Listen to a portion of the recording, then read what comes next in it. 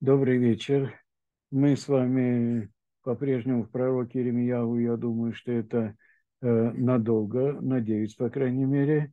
И напоминаю, что я все свои занятия, все слова э, посвящаю памяти и возвышению души Люба Бат Михаэль, э, моей жены, которая ушла из жизни полтора года назад, с которой вместе я работал э, над книгами пророков 20 лет, и сейчас э, продолжаю э, один, как бы всегда пишу, что это Э, ее вдохновение, ее благословение, то, что мне позволяет куда-то э, продвинуться дальше.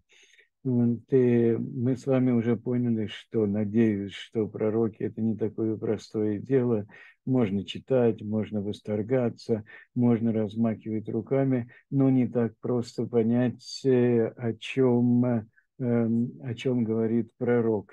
И нужно представить себе то время, когда были произнесены его слова, те или иные пророчества, и попробовать соотнестись с, с э, нашим временем. Это то, что мы с вами э, попробуем сделать. Я напоминаю, что можно меня э, прерывать, можно возражать, можно спорить. Я буду только, только рад. Сейчас я делаю, вывожу текст, да, вот, и мы с вами э, попадаем, мы с вами попадаем во вторую, э, во вторую главу пророка Иеремияву, да, и, может быть, мы немножко вернемся как э, урок повторения, не весь урок повторения, а несколько минут повторения.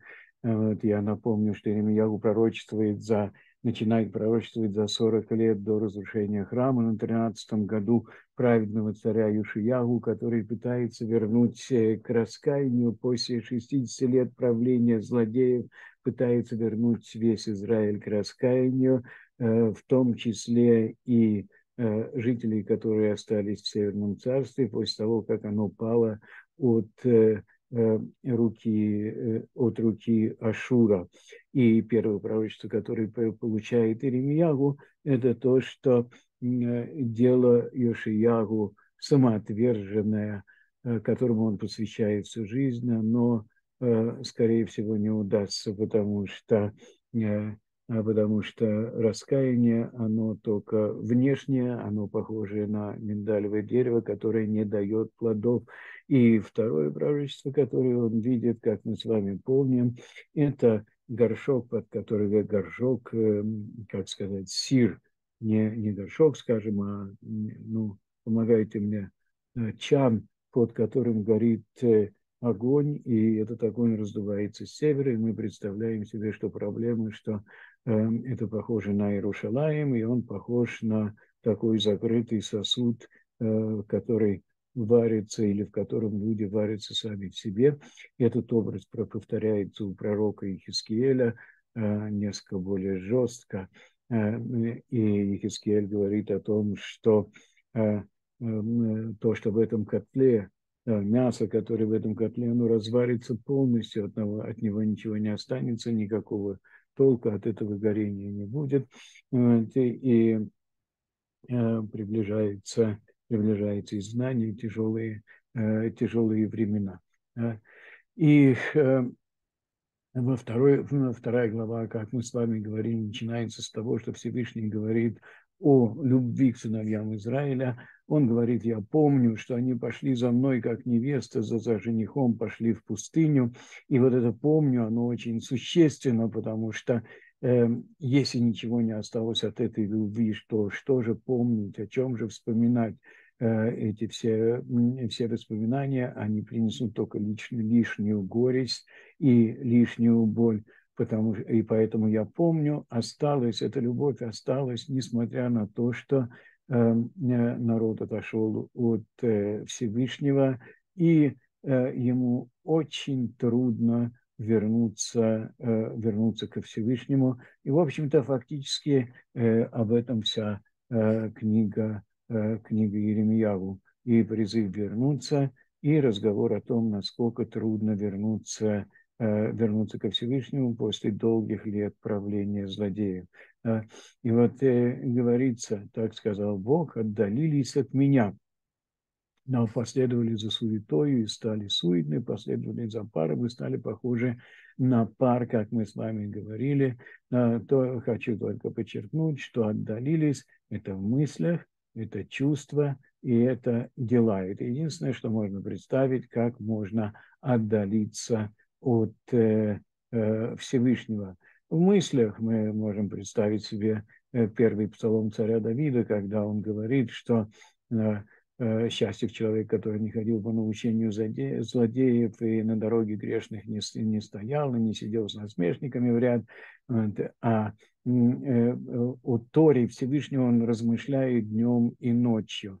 Тот привязанность мысли ко Всевышнему днем и ночью через его Тору, через размышление, а не только через повторение словами, через размышление. Это привязанность э, ко Всевышнему. Такой человек, он и Э, поступает иначе, он и в своих делах привязан ко Всевышнему. Э, вот, а если говорить о э, делах, то как можно быть привязан ко Всевышнему? Опять же, Давид дает пример в своем псалме «Шевите Гашем Ленигди». Я всегда представлял Всевышнего перед собой, что бы я ни делал, я соотносил свои дела, дела со Всевышним. Чувство, стремление почувствовать Всевышнего, да, это тоже присутствует.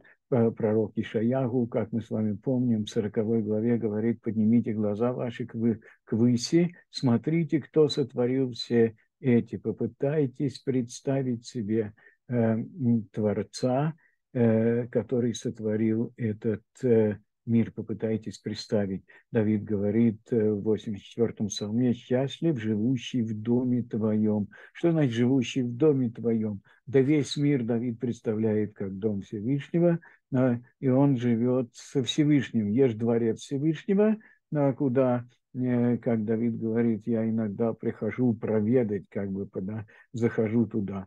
А весь то, что все за пределами храма, это все дом Всевышнего. Так что мы понимаем, что человек может быть привязан и мыслями, и делами, и чувствами. Он может быть привязан ко Всевышнему, отдалились от, э, отдалились от меня, утратили, э, утратили это э, ощущение, что Всевышний здесь, что с ним надо соотносить все свои дела, что надо стремиться почувствовать его и думать, думать о нем да, и не сказали, где Бог. Да. Мы знаем, что божественное присутствие отходит, да, и, в общем-то, ощущение присутствия Всевышнего, оно становится э, менее э, острым, менее, э, э менее так, да, есть э, благословение, есть защита Всевышнего. Все это видно, что это все уходит, и никто не говорит, где Бог.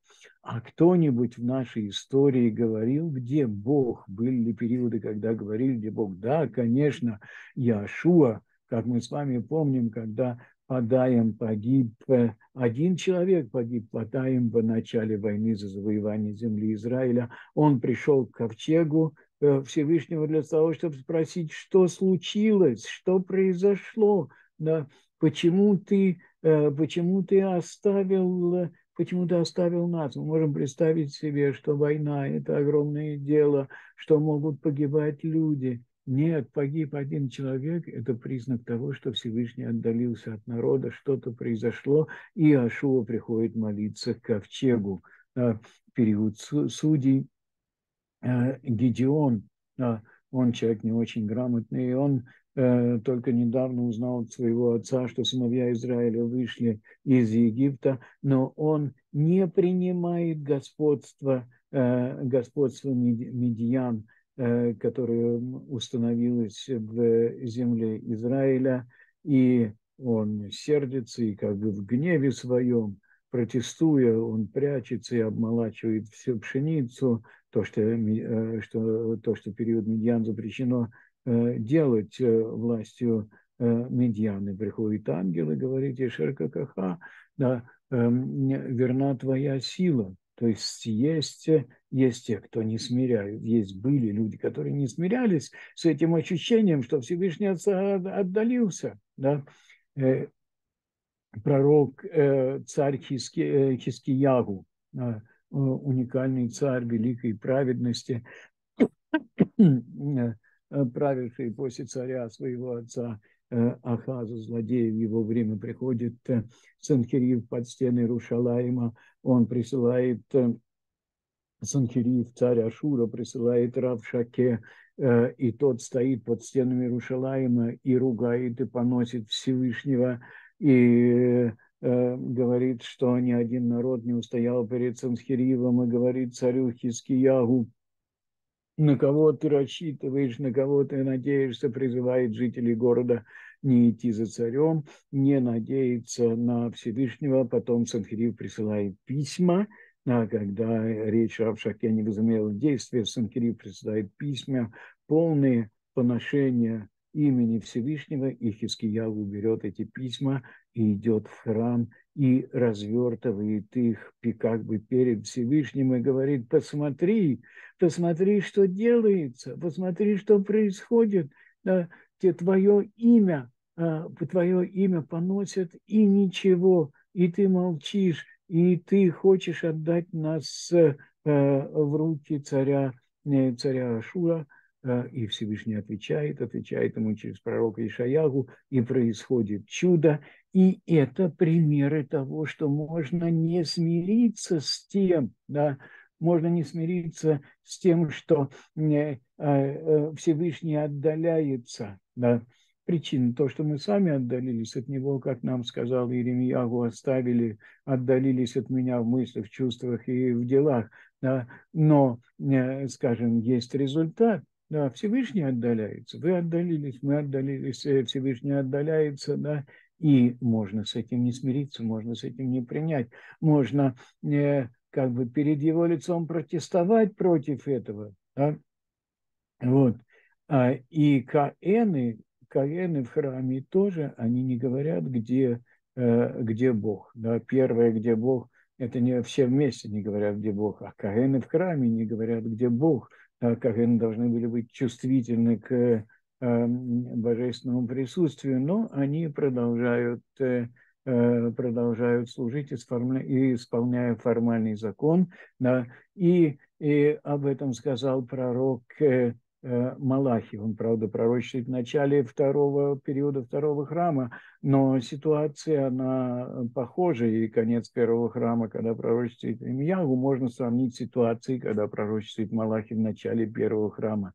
А, и вот э, Всевышний обращается э, ко всем сыновьям Израиля, говорит, «Возлюбил я вас, сказал Бог, а вы говорите, чем ты полюбил, чем ты полюбил нас?» То есть понятия нивелированы, да, чем ты полюбил нас? Да чем я полюбил вас? Да тем, что я с вами, тем, что вы чувствуете, что я с вами, тем, что есть э, э, ощущение божественного присутствия. По крайней мере, хочу, чтобы это было так. Я хочу быть с вами. Что такое любовь? Это быть вместе. Я хочу быть с вами. А вы спрашиваете, чем ты полюбил нас? Да? Что ты нам подарил? Да? Что ты, что ты э, сделал для нас? Да? И дальше конкретно о священниках, о кавенах, да, сказал Бог Цваот вам, священники, унижающие имя мое. Да, Всевышний обращается к священникам как унижающим имя мое. Да, они говорят, чем, унижили, чем же мы унизили имя твое? подаете на жертвенник мой хлеб оскверненный и говори, а, да, да, оскверненный хлеб, э, жертвы оскверненные подаете. А они говорят, чем мы осквернили тебя?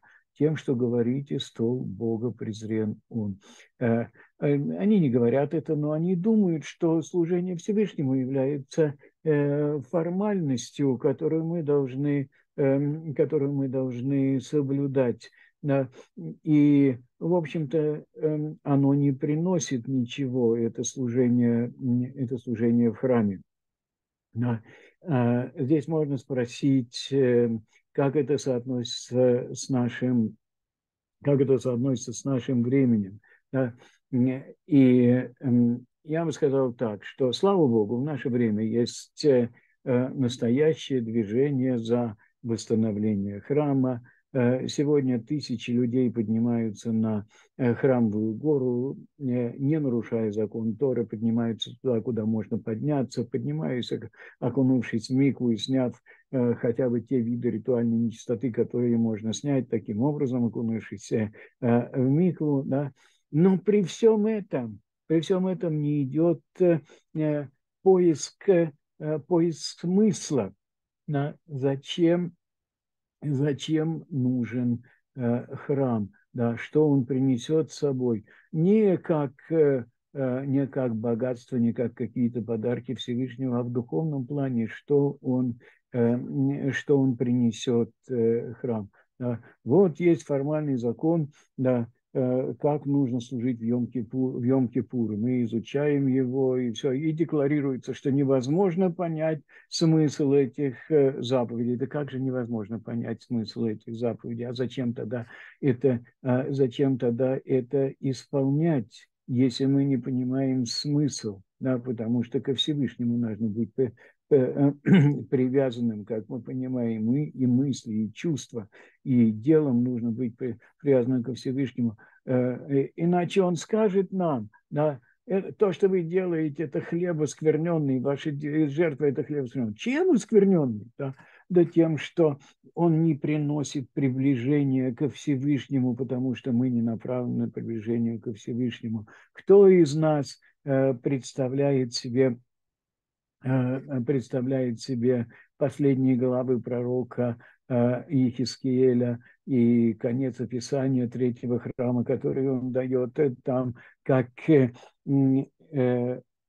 источник воды выходит из святая святых храма, и он растекается по всей земле, и он превращает всю землю в цветущий сад, включая и э, мертвое море, в котором начинает водиться, э, водиться рыба. Мы представляем себе это, мы хотим это, мы направлены на это. Да? Нет, ответ нет. Да? Вот. И поэтому, э, поэтому да, э, э, скажем, это э, упрек, э, упрек Каенов, э, упрек Каенам, да, э, в том смысле, как э, к нам, стремящимся к служению в храме, к стремящимся к тому, чтобы возобновил служение в храме, э, упрек Кагены не говорили, где Бог, он непосредственно относится, непосредственно относится к нам, недостаточно возвести стены здания, недостаточно построить жертвенник, возобновить, возобновить жертвоприношение, нужно искать связь с Богом, опять же, на уровне мысли, на уровне чувств и на чувств и на уровне дел. Да?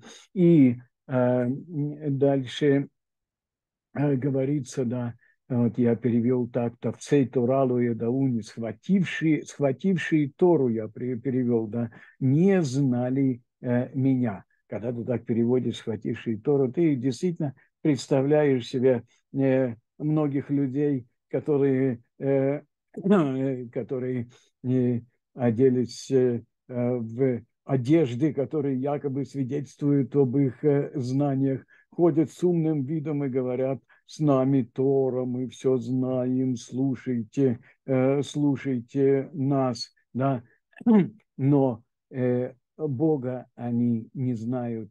В каком смысле? Да?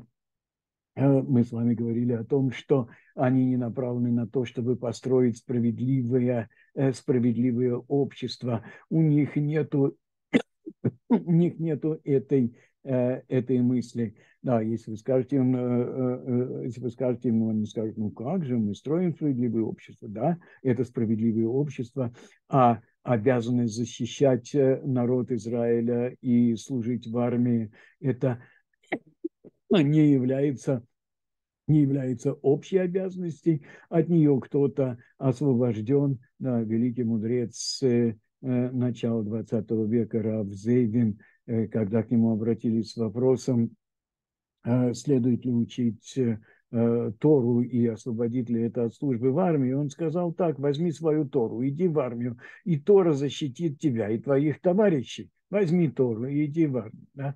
И это относится ко многим вопросам и к вопросу э, проживания, проживания в земле э, Израиля, да, то, что происходит сегодня, на мой взгляд, это просто катастрофа, э, э, катастрофа сознания, схватившие Тору, которые схватили Тору, они утверждают, многие из них, что сегодня можно и даже хорошо жить за пределами Эм, за пределами земли Израиля. Сколько я таких мнений слышал от людей, в общем-то, э, э, э, довольно умных. Да. Один человек мне сказал, что ну, почему ты говоришь все время о земле Израиля? Представь себе, если мы потеряем землю Израиля, то мы сохраним народ.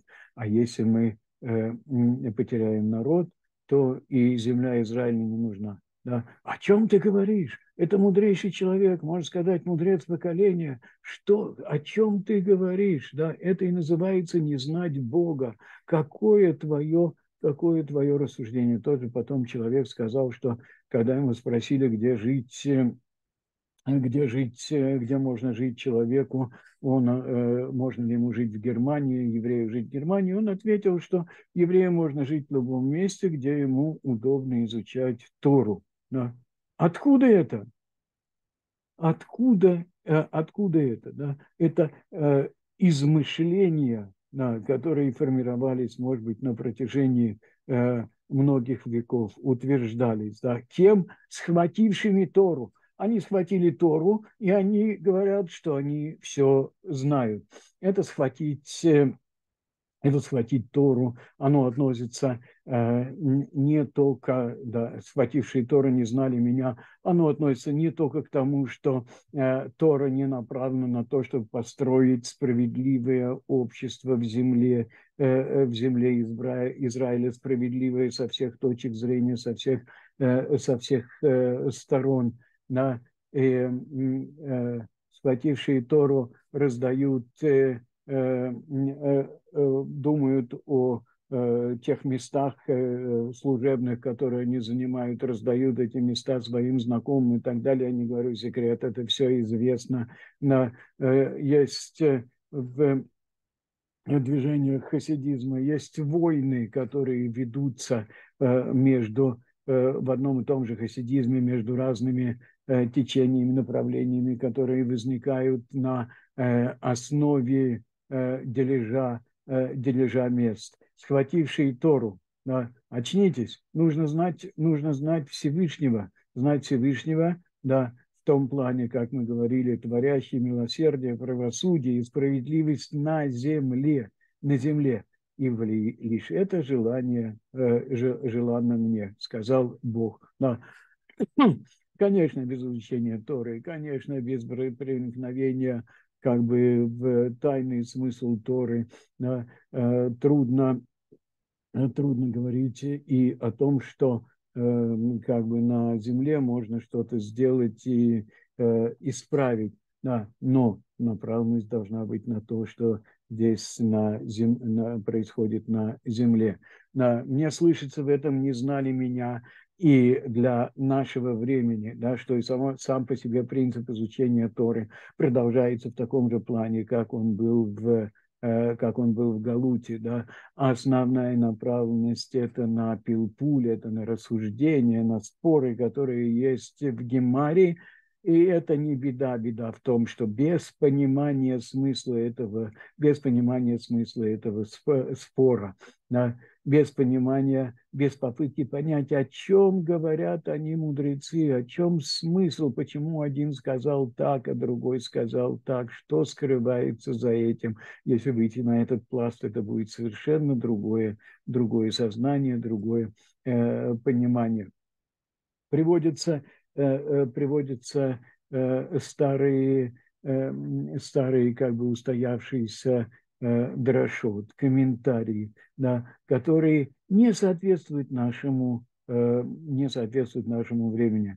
Э, сейчас как бы в этом формате нет возможности углубиться в этом, но у меня было несколько уроков относительно э, Торы, относительно Торы нового э, времени. Интересно, интересен в этом плане э, Э, который постоянно стремится раскрыть смысл. У него есть книги, которые называются «Хидушей Агадот», э, новая, в рассмотрении Агадот, который есть в Талмуде, и он поднимает там духовный пласт э, Талмуда.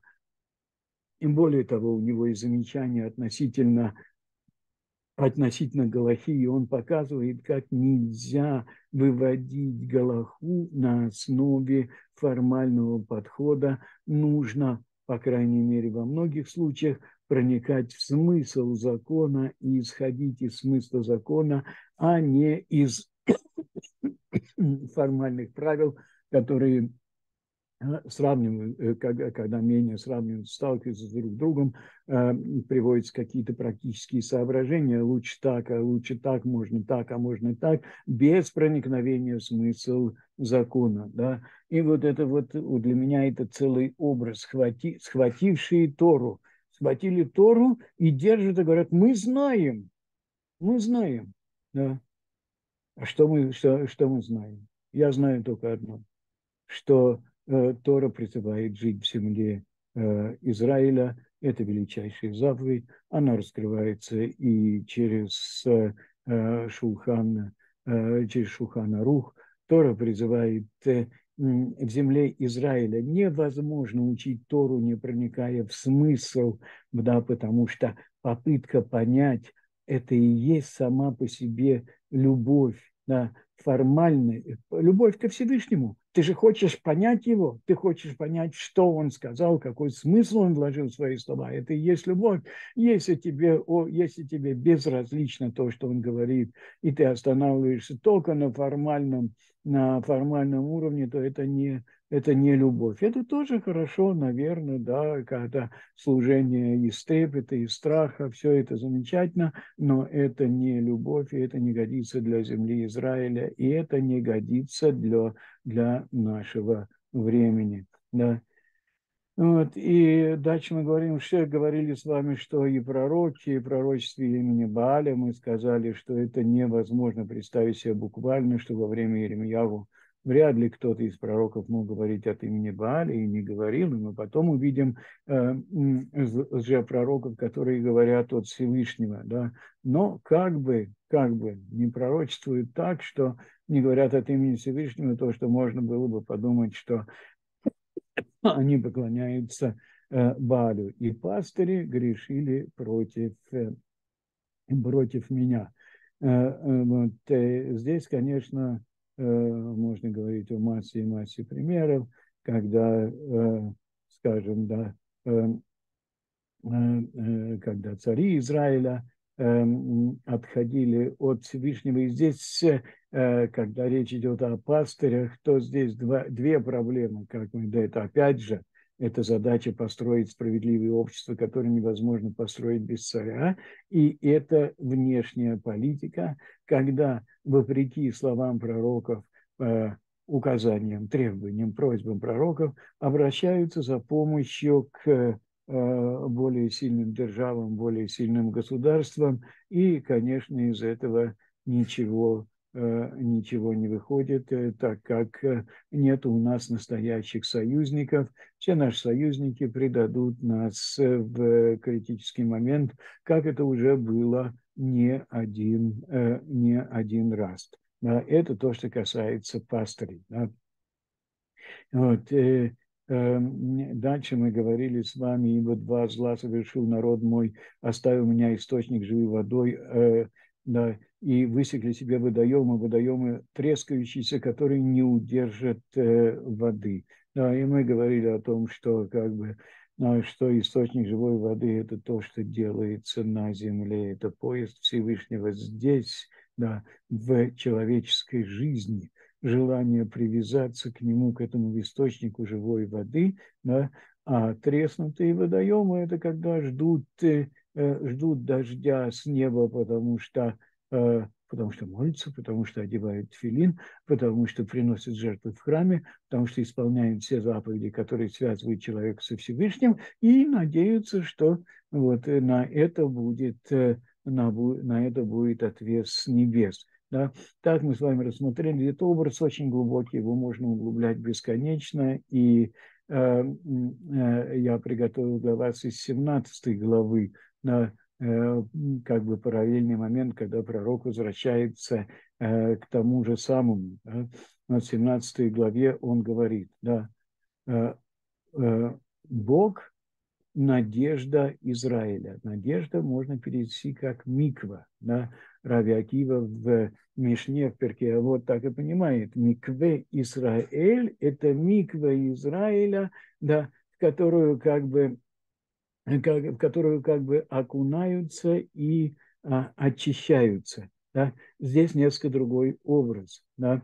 То есть, э, если э, мы выше, э, если мы выше, пророк говорит э, как бы о водоеме треснутый, который никуда не годится, то здесь водоем не треснутый. Почему, почему я так говорю? Потому что есть два, две воды, которые очищают. Одна из них – это источник, который течет, и в нем вода и в нем вода движется, она не должна стоять. Если это источник, она должна двигаться. И есть э, миква, это водосборник, в котором как раз вода должна стоять. И если она движется, то она не годится для очищения с галактической точки зрения. Если ты видишь на поверхности хотя бы небольшое движение, э, движение воды, то э, миква не годится. Да. Но может быть и так, что ты потом обнаружил, что и трещину какую-то, да, из которой вода,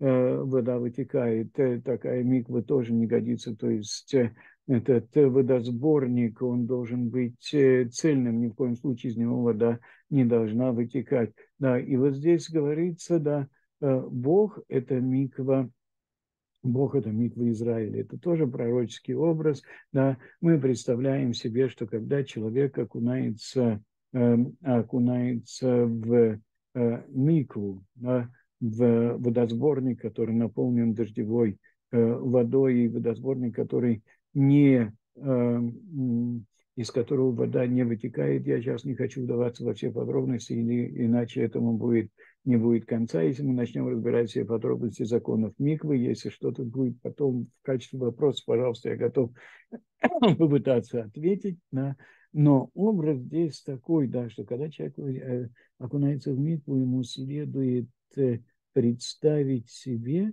да, что он соединяется со всем, э, со всем творением, да, и именно со всем творением на земле. Он как бы растворяется. И это растворение, да, это растворение в общем, частного в общем, оно Э, оно и очищает. Для миквы очень важно сознание человека. Вот для очищения важно желание очиститься, и важно, чтобы он представлял, что он как бы растворяется в общем. Конечно, скажем, мы понимаем, что общий принцип – это частные, общие проявления общего через частное, и частное не должно э, как бы э, уничтожать себя, но есть момент, когда необходимо – частному как бы аннулировать себя как хотя бы на мгновение. И вот э, человек такой, который опускается в, э, в микву, он э, как бы растворяется, а пророк здесь говорит, и Раби Акива нам подсказывает в перке, вот человек как бы растворяется в Боге. Это его, это его очищение, да, и здесь уже образ немножко другой. Это не те источники, которые вы, это не те водосборники, которые вы приготовили своими руками, они не удерживают воды, и поэтому они не могут очистить. Да? Это водосборник Бог Микве Израиля.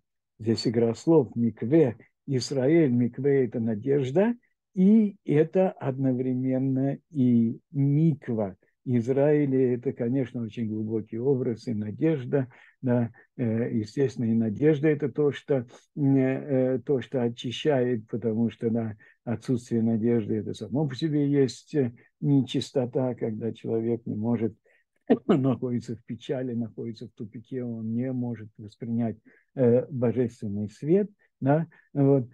И вот это параллели 17 главы, э, главы Бог Миква, э, Миква Израиля. Все оставляющие тебя будут постремлены, а те, которые отворачиваются, от меня будут записаны, обречены лечь в землю ибо оставили они Бога, источник воды живой. Здесь неожиданный переход от миквы к другому, так сказать, способу очищения, к источнику, постоянно бьющему из земли, не наполненному дождевой водой, а постоянно бьющему из земли. И э, мы уже представляем себе как бы, да, два эти разные моменты. Источник, который бьет из земли, это больше – Э, это больше соотношение с заповедями, которые связывают человека и человека, а, а э, водосборник, который наполняется водой с небес, это больше соотношение с заповедями, которые связывают человека и Всевышнего. Да? И то, и другое очищает, если человек готов, хочет, э, если так можно сказать, раствориться во Всевышнем ну, хотя бы на мгновение. Да. Дальше, э, э, скажем, да, или немножко выше, э, э, Еремьяу разворачивает эту тему очень тяжело, очень остро. Да. Что значит оставить э, что значит Всевышнего, что значит э, а, отдалиться от источника воды живой, да, он говорит так, да, проклят тот человек, который полагается на человека и делает плоть опорой своей, и чье сердце удаляется от э, э, Бога. Пойди знай, чье сердце удаляется от Бога. Кто это может знать? Это только сам человек может э, знать. Кто может человеку, скажем, упаси Бог, сделать трепанацию черепа и посмотреть о то, о чем он э, э, думает. Да. Очень много отдано в руку своего самого человека, и он сам должен контролировать себя, и он сам должен э, как бы направлять пути свои. Да. И, упаси Бог, если его не постигают неудачи, он должен подумать о том, а в чем его духовное состояние неверно, неправильно. Да? Вот.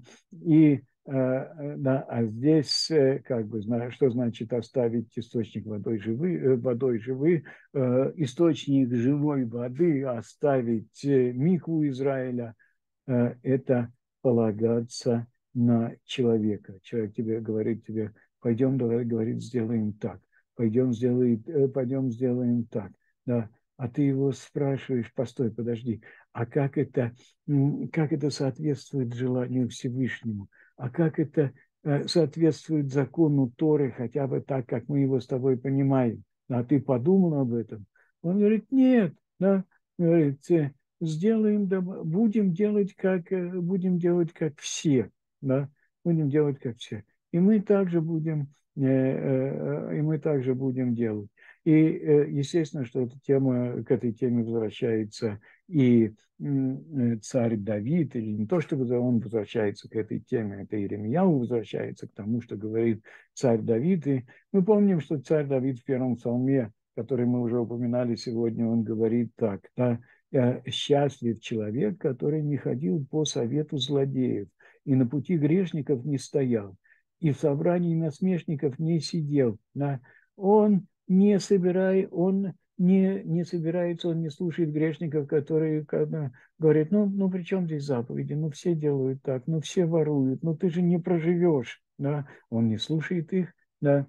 и, вот, э, и э, не, не слушает злодеев, да, не слушает грешников, которые говорят, ну, послушай, если нельзя, но очень хочется, то это можно, и он не разговаривает с насмешниками, которые сидят и как бы что-то там рассуждают о Торе, о ценностях, э, которые есть в мире, и фактически смеются над э, ценностями, над ценностями Торы. Он не там, да? только к Торе Бога влечение его, и на Торе его размышляет он днем и ночью, да? и он не полагается на, на мнение людей и не идет э, за ними, и об этом говорят много и постоянно, и царь Шламо начинает э, свои притчи с э, такого же обращения к сыну своему, да, не ходи со злодеями, Но интересно, что царь Давид продолжает, и он дает такой же образ, да, человек, который со Всевышним да, в мыслях, в чувствах, в своих поступках, да, и будет он как дерево, посаженное при потоках вод, которое плод свое дает во время, во время свое, и чей лист не увянет, и во всем, что он сделает, он преуспеет дерево, которое у потока, э, у потока вод источник э, воды живой, который Всевышний говорит, это я. Я источник живы, э, живой, живой воды. Да. И те, кто отрывается, и те, кто отрывается от меня, да, они, э, они высыхают. Те, кто не ищет меня, те, кто не обращает внимания на то, что происходит в мире, те, кто не пытается почувствовать меня, те, кто не соотносит свои дела с законом Торы и с желанием Всевышнего, да, они отрываются от э, э, живой воды. Да. Вот, э, да. А, э, дальше есть э, в Еремьягу Э, образ, э, а, да, образ э, виноградника. Да. Всевышний обращается к сыновьям Израиля и говорит, я насадил тебя как благородную лозу, как самое, как самое верное семя, как же превратилась ты у меня в одичалую чужую, чужую лозу. Да.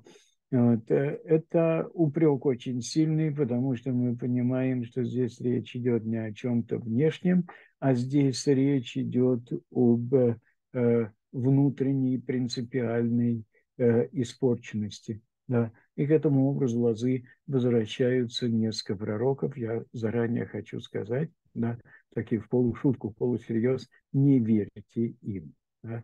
Часто пророки говорят о том, что могло бы быть, и чтобы э, и что это, э, но это не произошло, и это не произойдет. Да? Знаете, как это ребенку говорят, вот э, ты полез на стол, ты же, ты же мог разбить чашку. Да?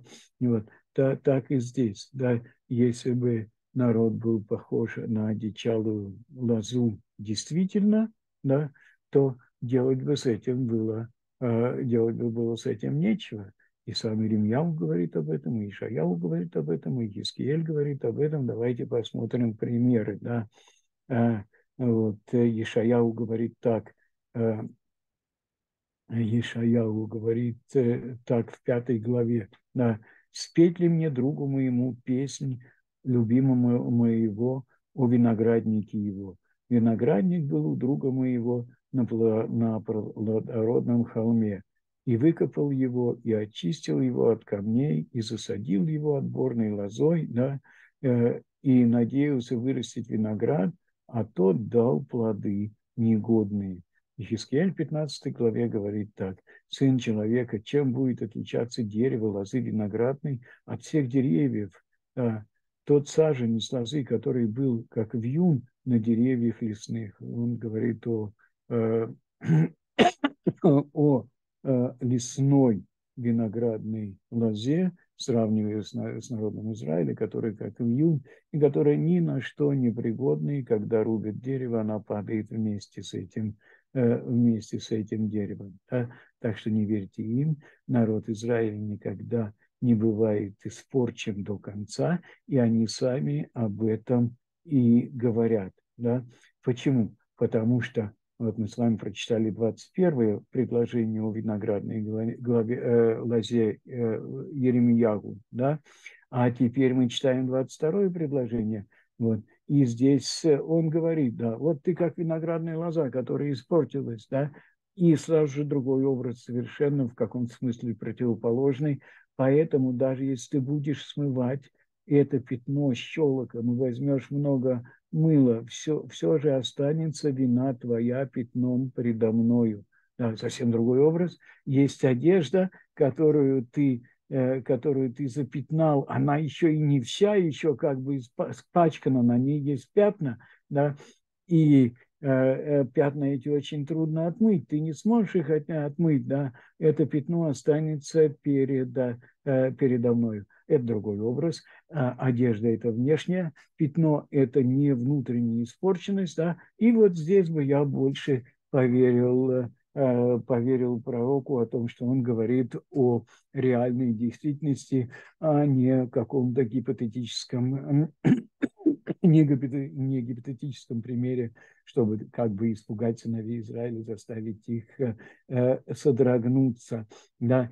И мы можем отметить, что во времена Иеремьягу и э, разговор идет о том, что изжить тот грех, те понятия э, испорченные, которые вошли в народ за 60 лет правления царей и злодеев, после которых правит царь, царь Юшиягу, очень-очень трудно. Да? И э, даже, вы представляете, какой образ? Да? Ты хочешь исправиться, ты понимаешь, что что-то не в порядке, да? берешь и стираешь, и не можешь отстирать, да? потому что э, чужие понятия, чужие представления, да, о единстве Бога, о соотношении, как бы, об управлении Богом миром, о соотношении человека с Богом, да, все это вошло, все это вошло в жизнь, и даже при желании восстановить истинные понятия, это сделать э, очень э, трудно. Мы привыкли говорить о том, что определяют дела человека, да, как Рамбам, позиция Рамбама «делай хорошо», и это повлияет на душу, это замечательно, да, э, и, может быть, это главное, но есть и обратная связь, то, что человек понимает, то, что он представляет о Боге, о жизни. Безусловно, это влияет на его, э, на его дела. И э, можно привести, можно привести такой пример. Возьмем, вспомним того же царя Хискияу, который правит, как мы с вами говорили, ну, против, против, против 16 лет правления своего царя, э, своего отца, э, царя Ахаза, который закрыл храм, который насадил идолопоклонство во всей стране. Да. Э, Хискиягу, как говорится в трактате Псахим, делает неожиданную вещь. Он берет медного змея, который хранился в который хранился в святая святых, медного змея, который сделал Маше, и когда людей кусали змеи, они смотрели на этого змея, поднимали как бы глаза их змеи к небесам да, и выздоравливали. Да. Э, э, он взял этого медного змея, свидетельство чуда, которое стояло 500 э, лет, какой, ну да, не 500, да, 800 лет стояла в храме, да, и он берет, и он... Э, э, э, сейчас меня просто как бы с цифрами немножечко запуталось, сейчас нужно восстановиться, да, через 22 год. Ну, да, где-то э, где 500 лет э, этот змей стоял в храме, и он его раздробил, да, и спрашивает, зачем? Да, и назвал его Нихуштан, какое что-то маленькое, незначительное, из меди. Да? Зачем он это сделал? Кому он мешал? Свидетельство чуда. Да?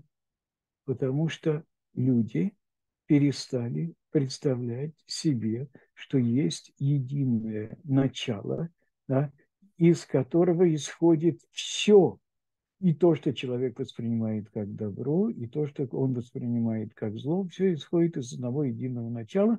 И они стали говорить так, да, вот святая святых есть э, э Арон Абрит, есть ковчег э, э, Союза, и он э, олицетворяет то добро, которое и благословение, которое распространяется в мире, но есть там еще такая маленькая штука, медный змей, и он олицетворяет, олицетворяет то зло, которое распространяется в мир, да, и, в общем-то, единое начало, оно не единое начало, но оно делится на добро и, и на зло, и нужно молиться доброму началу, чтобы оно давало благословение, и злому началу нужно молиться, чтобы оно не распространяло на нас э, проклятие. Это вошло в в сознании людей. И после того, как Хискиягу пришел к власти, они продолжали воскурять честь этого медного змея, и он решил раздробить, э, раздробить его. Да? Вот. Поэтому даже когда человек хочет отмыться, отстираться, отстирать свои одежды,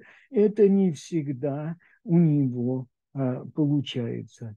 Э, чужие и чуждые представления, навязанные чужой культурой и чужими представлениями, остаются э, в его мозгах. Интересно сопоставить это высказывание Иеремиягу с высказыванием пророка Ишаягу в первой главе. Всевышний говорит, обращаясь к сыновьям Израиля так, приходите и поспорим. То есть э, вы говорите, да, вы говорите, что вы правы. Да. Давайте поспорим. Здесь у Ремьяву этого уже нету. Да. И как бы э, не с кем спорить, несколько другое состояние, э, несколько другое состояние народа. Да. Здесь говорится, мы вернемся к этому. И приходите и поспорим, говорит Бог. Если будут грехи ваши, как кармин, что значит ваши грехи будут как кармин? Если вы признаете, если вы увидите, вы будете спорить со мной, да, то что? А что здесь все чисто, здесь все светло, да. Если вы увидите в результате разговора со мной, в результате разговора с пророками, с настоящими мудрецами, если вы увидите, что да, вы провинились и сильно провинились, если вы увидите, да, станут белыми, как снег. Я отмою все, как снег, да. Если будут красны, как багрянец, Э, может быть, это более сильные, да, станут как белая шерсть. Я их, я их отмою, да. Вот это э, на сто лет раньше Иеремиягу, да, и здесь другой разговор. Да. Здесь вы можете понять свой, здесь вы можете понять свой грех, вы можете оценить. Я вас призываю, давайте, приходите спорить, доказывайте мне, что вы правы. Я вам докажу, что вы не правы. Да. Есть диалог, да. Здесь нет диалога. Отстирать не, невозможно. Да? Останется вина твоя пятном предо мною, сказал Бог Всесильный. Понятия, да, э, которые вошли э, в вас, представления чужие идолопоклонников, их невозможно все это снять. Позже Иеремьяу скажет, что грех э, Иуды похож на то, как, как будто нацарапали железным скребком, скребком, пером, может быть, железным пером, нацарапали на, на камне, на камне, да, э, вот, э, э, нацарапали на камне, да, то есть э, такой момент. Избавиться от греха гораздо труднее. Здесь я остановлюсь, пожалуйста, если есть какие-то вопросы, я буду рад, я закрываю share, вот я вижу вас всех, пожалуйста, если хочешь, что-то хочется спросить, буду, не, э, буду рад. Да. Вот, можно возражать, можно добавлять, пожалуйста, все возможно. Равзеев, позвольте вопрос. Пожалуйста. Да, Вы сказали, что э, миква, в которой вода, в которой, э, так сказать, движется, там, да. я так понял, да, да, да, она, да, да. она не годится. Означает ли это, что э, окунуться в реку, скажем, или в море э, в качестве окунания в микву не годится? Вот, мы пошли с вами в галактические, э, в галактические вопросы. Э, море вообще-то считается как, э, э как миква, микве, микве маем называется море, собрание вод. Но как правило, как правило, этого не, э, э, не делают с галактической точки зрения, то есть э, море не считается пригодным для очищения, но, может быть, в каких-то крайних случаях, скажем, можно было бы пойти на это, я здесь не решаю. В принципе, море не годится с рекой, здесь дело такое. Да? И с рекой всегда возникает вопрос, что больше, в чем больше реки, у реки? Больше ли у нее дождевых вод или больше у нее вод источника? Если это не горная река, то, как правило, говорят, что большинство вод – это воды источника, и можно пойти на то, чтобы, на то, чтобы окунуться в реку. То есть река – это движущиеся воды, воды источника – тоже стараются как бы это не делать, но часто бывают такие ситуации, особенно там, скажем, в Галуте бывали ситуации, когда кроме реки не было ничего другого, и это считалось вполне допустимым, в отличие от моря, которое, ну, совсем крайний случай. Вот это то, что можно сказать. Ясно, спасибо. Э, э, большое да, вам да, спасибо за актуальный урок. Добрый вечер еще раз. А, как всегда, всегда все, все вовремя приходит, и это действительно благодарю вас. Э, урок э, в преддверии месяца Элюль, да, и в преддверии Роша Шана, вот, очень побуждает правильные вопросы чувы, да, и, многих-многих аспектов.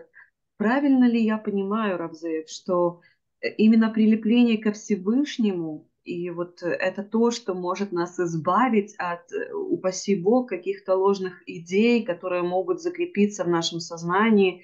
У каждого была какая-то жизнь до, до, до прихода да, к, к иудаизму и соблюдению заповедей.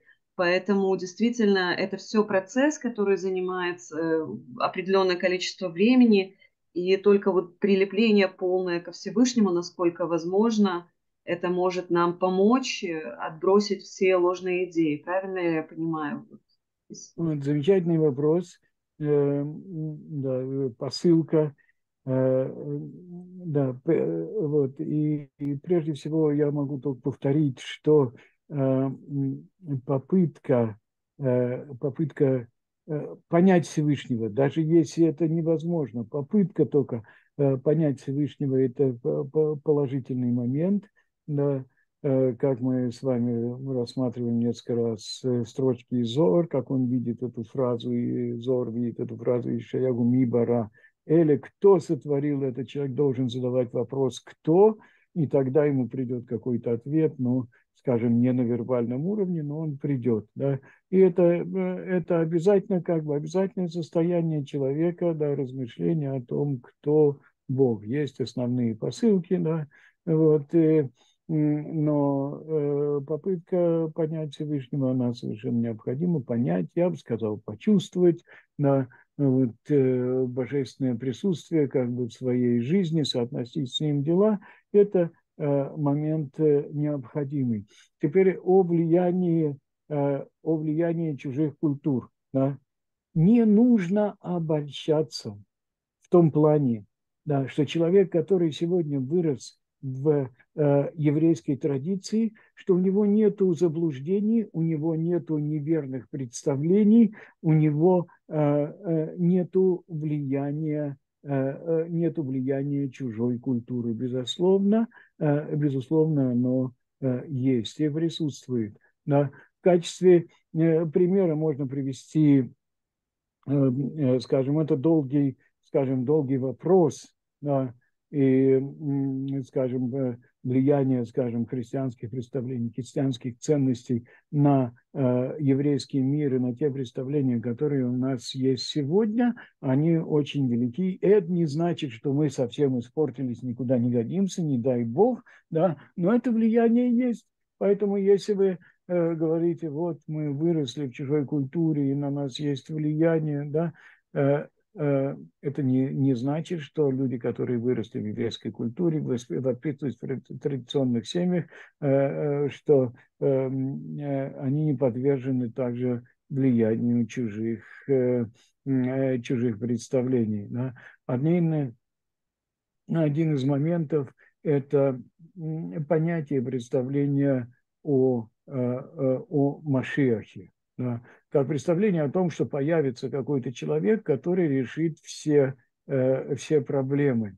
Э, это э, представление совершенно неправильно, глубоко вошедшее как бы в, во многие еврейские круги. У нас нет ничего, ничего подобного. Да. Для нас Машиах – это руководитель народа, это царь, который решает национальные национальные проблемы, опираясь на весь, опираясь на весь народ.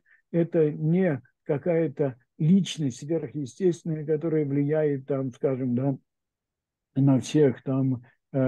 Вот это, это царь, это руководитель, руководитель народа. Да. Вот и здесь тоже можно, можно говорить да, об этом. Да. Есть, есть представление а, о том, что а, как бы нужно сидеть тихо, нужно быть тише воды и а, а, ниже травы, как говорят а, по-русски, заниматься Торой и ни с кем не конфликтовать. Да. Вот, и поэтому, поэтому это тоже не еврейский, э, не еврейский подход. Да? Есть представление о том, что э, восстание 68-70 э, года и восстание Баркова было совершенно излишним. Да? Это не еврейское представление, оно как бы основывается на незнании, тотальном незнании истории, условий. Да? Вот, и представление о том, что э, есть понятие борьбы, есть понятие самопожертвования, есть понятие, есть понятие, есть понятие осквернения имени Всевышнего, ради которого идут на, э, э, на самопожертвование. Да? Сознание евреев в период, скажем, и первого храма, и второго храма, оно отличалось от того сознания, которое есть у нас.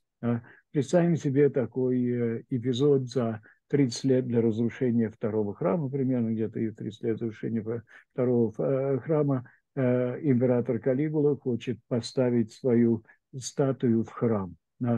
Выходят к Яфа, куда привезли эту статую женщины и дети, мужчины стоят в стороне для того, чтобы показать, что они не будут оказывать никакого сопротивления, ложатся на дорогу и говорят, э, убейте нас всех, мы не дадим, мы не, мы не можем жить, мы не будем сопротивляться, мы не можем жить в статуе, которая стоит в храме. Да. Это э, сознание людей э, периода храма, это их реакция. Да. Вот, э, сегодня сегодня, скажем, да, в период Гуш-Катифа, когда, когда разрушили поселения на Святой Земле, места проживания религиозных людей, синагоги, да, подавляющее большинство сказало, ну и что, ну подумаешь, подумаешь. Да? Вот. Сегодня, как мы, как мы видим, да, как тот, кто не полагается на Бога, а тот, кто полагается на человека, оттуда, из этих поселений, э, из этих мест, из газа летят ракеты. На, э, наши враги усилились. Они усилились внутри страны. Они усилились и э, на севере они угрожают, а, они угрожают нам.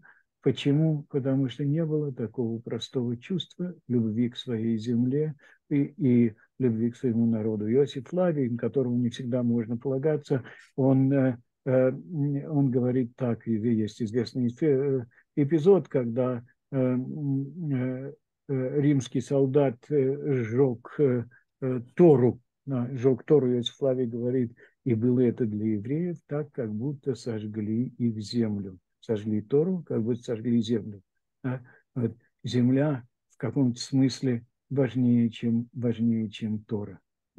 Вот. И, скажем, да, это только крупицы того, да, что, э, э, э, что не нужно думать, что человек, который сегодня вырос в еврейской традиции, что у него все в порядке в голове. Да? Есть система ценностей, которую нужно, э, которую нужно восстановить.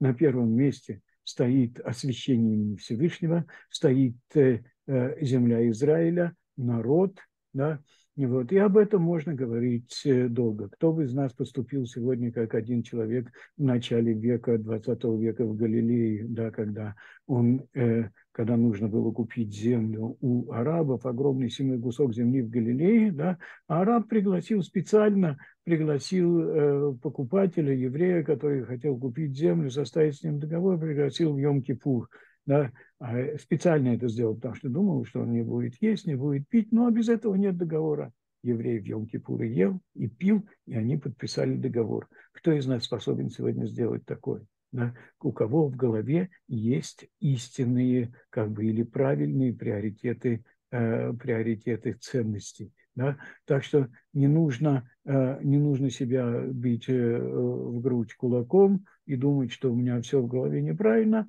Нужно просто стараться привязаться к Торе, к ее истинным понятиям, э, вот, смотреть комментарии, которые отражают, отражают наше время. И не то, что вот как сегодня, а наше время возвращения – возвращение, возвращение шхины, да, и это то, что, э, то, что требуется, э, то, что требуется от нас. Да. Вот, то, что я бы хотел сказать. Да. Вот, может быть, мои слова немножко резкие иногда, может быть, неожиданные, да, вот, э, но я вас уверяю, я не один в э, своих э, мнениях, да, вот, э, не, не одинок в своих э, э, мнениях, да как бы мне есть на кого опереться и на сегодня, сегодня жив, живущих людей. Вот просто э, не все берутся говорить так открыто, а я мне как бы, да, кроме своих цепей мне нечего терять. Вот, Раф, большое вам спасибо за то, что вы делитесь э, этими важными знаниями и помогаете, в том числе мне лично, э, лучше понять, что происходит, и благодарю вас.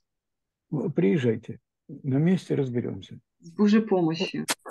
Чтобы так и было. Хорошо. Спасибо. Спасибо. Хорошо. Ладно. Мы тогда с вашего разрешения закроем форум. Большое спасибо, что вы все приняли участие. Для меня это очень-очень важно. И я со своей стороны надеюсь сделать, чтобы было, вам было интересно и полезно. Вот. Э, всего самого доброго. Натан, Окей, раз всем могу... спасибо. Э, Йосеф,